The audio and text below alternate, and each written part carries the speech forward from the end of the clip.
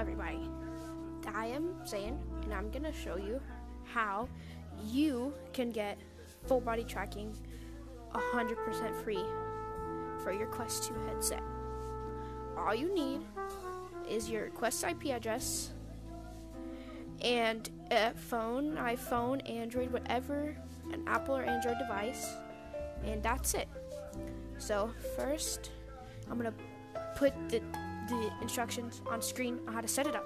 Okay, so first you want to open up your Viso app. And there's the new update that came out to where you can select a, a thing, a IP, but I suggest going to enter and then just entering in your device's IP. Set it to whatever. Wait.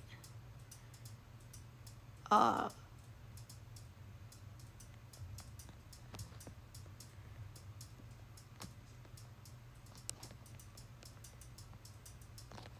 where it was something like that. Whatever, I'll set up later.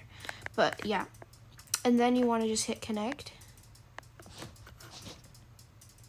Okay, may or may not have forgotten what it was.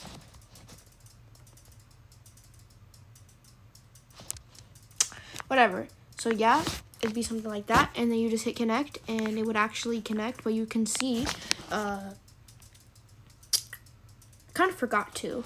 And you can either, oh, that's probably why.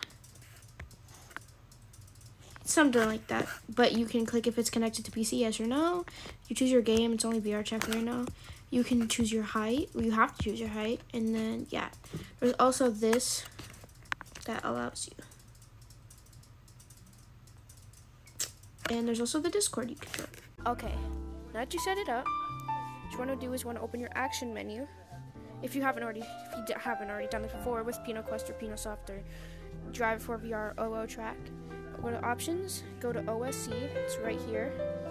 Click this, make sure it's enabled, and it should respond you. Now you should see. Well, I turned it off. Uh, when you have it toggled, you should see calibrate full body. And all you have to do is align your feet with the your feet with the little balls, your hands with you don't really have to do the hand step unless you're using elbow trackers. And boom. It works really great. In my opinion, it works really great. Like, look at that.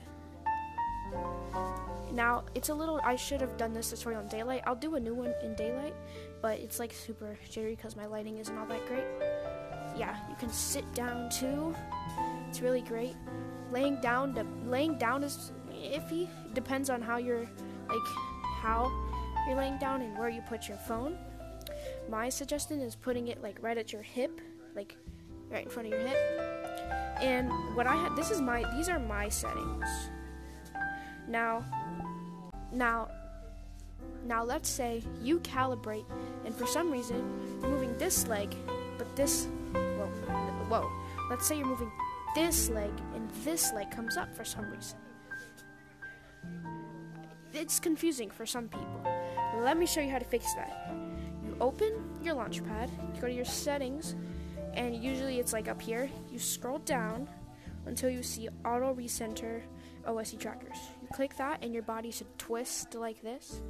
All you have to do is recalibrate, and boom, it should be fixed. And if it isn't, go to the Discord because I, I I am making a tutorial, but I like don't know how to really like do all that stuff. But yeah. And it works with almost every avatar. Well, most avatars that are at normal height. Honestly, my personal recommendation is getting Steam VR so you can use OVR and move up and down. And yeah, that's the tutorial. This this is my settings. I'll like put like a screenshot. Make it yeah. These are my settings. I suggest you turn locomotion off because when you like, yeah, I'll also show you. So let's say I turn it on. It doesn't look bad, but like let's say you're sitting down, it's kind of like yeah. So I suggest turning locomotion off. And this I usually have it as access, but it's like. So yeah, or you can have legacy tracking, which isn't that great with OSC. I've seen a lot of people using it for some reason. It's like really, really 10 out of 10 great for them. But every time I try to use it, it's like really bad. So yeah, that's just the tutorial. I hope y'all enjoy. Bye.